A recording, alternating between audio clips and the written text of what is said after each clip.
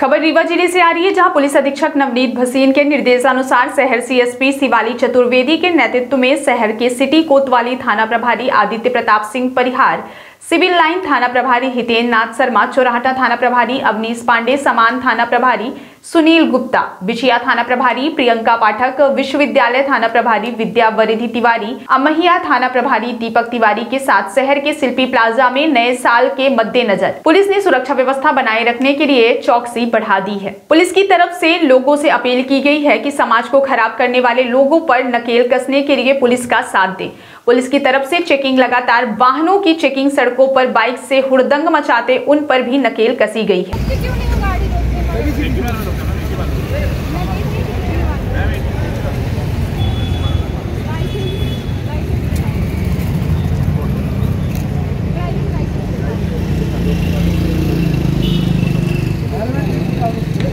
वो गाड़ी रोकते पीछे नंबर हो और पीछे वाला का नंबर देखो। साफ़ हो जाएगा कंडीशन हो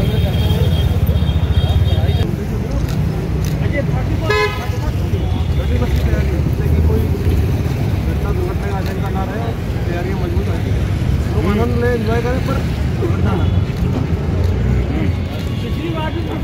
कुछ नहीं हुआ था इधर चेकिंग कर- केवल अभी एक इधर गाड़ी का हैं।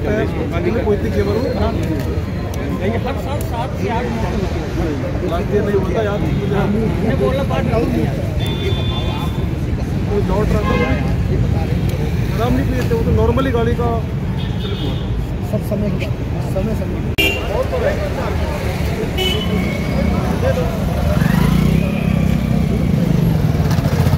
दुनिया में किसके पास प्रॉब्लम है सबकी प्रॉब्लम है जब तुम पेट्रोल डलवा सकते हो गाड़ी पे चढ़ सकते हो तो चालन क्यों नहीं करवा सकते अपना नाम करिए सिग्नल चढ़ा सकते हैं सब लोग पैदल चलेंगे इनकी का ऊपर चढ़ जावे का?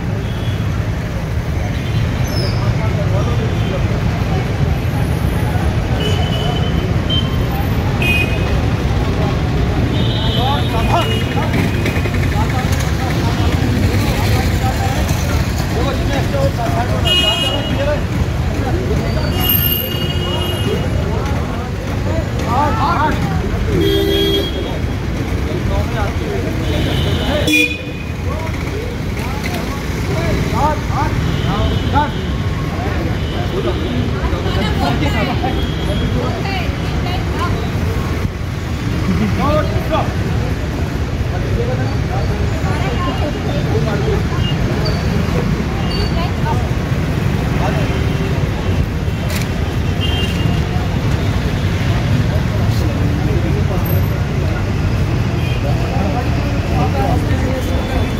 लगाई गई जगह जगह में पुलिस फोर्स के साथ कैसे लगाई गई चेक की व्यवस्था को देखते हुए।